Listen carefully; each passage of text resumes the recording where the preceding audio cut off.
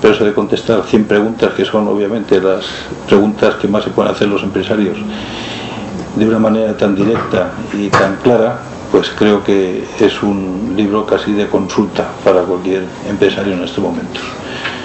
Queríamos explicar la reforma de una forma más, más sencilla, que fuera entendida por todos, todos los que se acercaran a ella, y de ahí el, formato de preguntas y respuestas, que puede llamar un poco la atención, pero que al final es un formato bastante, yo creo, bastante, bastante práctico. Que cualquier reforma laboral, todas las que ha habido a lo largo de la democracia española, pues siempre han, han encendido debates, han creado controversia, eh, incluso ha habido juicios extremos eh, pues irreconciliables ¿no? y, y, resulta llamativo. Entonces, eh, lo que queríamos era, más que desde el punto de vista estrictamente académico, pues como decía antes, también con el apoyo de la editorial, pues sin hacer juicios de valor, pues eh, simplemente responder objetivamente a unas preguntas concretas que se nos plantean en la, en la realidad, en la práctica diaria del, en el ejercicio y en el mundo laboral. editorial pues también le tengo que agradecer enormemente también es este proyecto.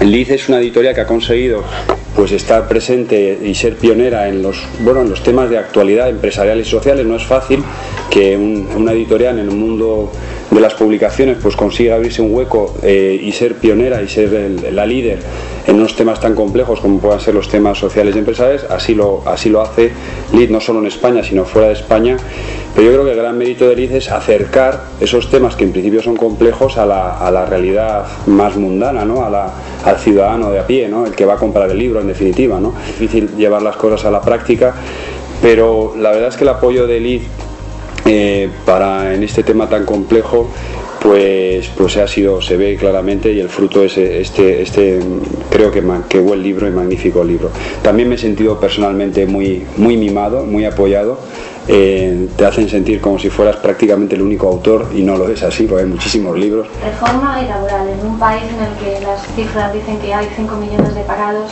donde al día casi se cierran 120, 122 empresas, donde se ha hecho una reforma laboral este verano que nos ha marcado, nos ha marcado una presión después. Era necesario explicar cómo nos iba a afectar a las personas, porque no hablamos solo de la empresa, ni de los empresarios, ni de los trabajadores, sino de ese capital que todos conformamos.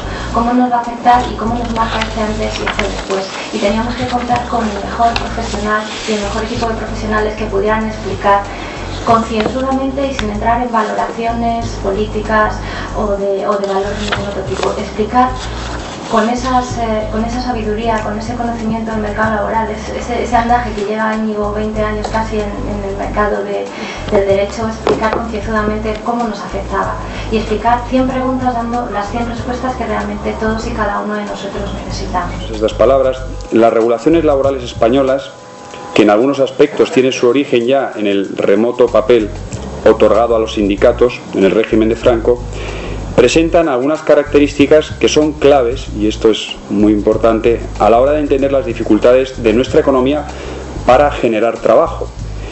Y además tenemos en particular dos elementos que hace que nuestra tradicional legislación laboral sea atípica frente a otros modelos laborales más modernos o, o más europeos. ¿no?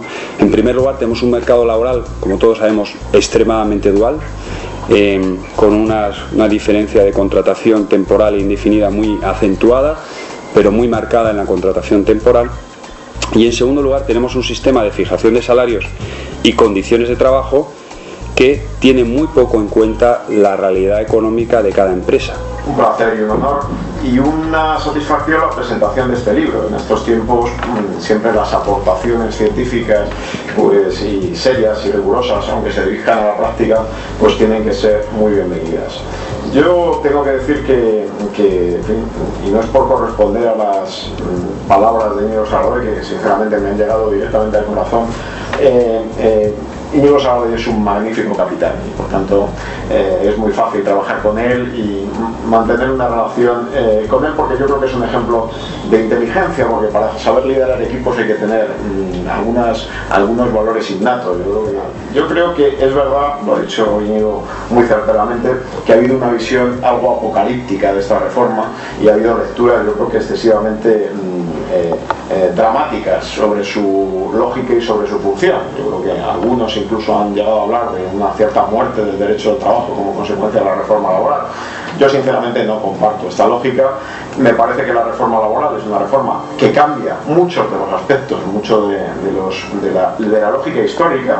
Yo creo que, vuelvo a insistir, el prólogo que hace eh, Juan Antonio Saladoy es muy ilustrativo de ese cambio de lógica tradicional y cómo ha evolucionado nuestro modelo de relaciones laborales a lo largo de los años y cómo esta reforma se sitúa en un camino en el que eh, necesariamente, por el que necesariamente debemos transitar en un contexto de crisis. Hoy los datos que veíamos en la prensa y las previsiones de crecimiento por los próximos dos años pues no son desde luego nada favorables hacia falta. derecho también nos hemos dedicado a realizar análisis de la reforma laboral no podía ser de otro modo la reforma laboral que ha tenido unas eh, críticas apocalípticas, eh, dramáticas, se les ha dicho de todo, otros consideran que es eh, buena.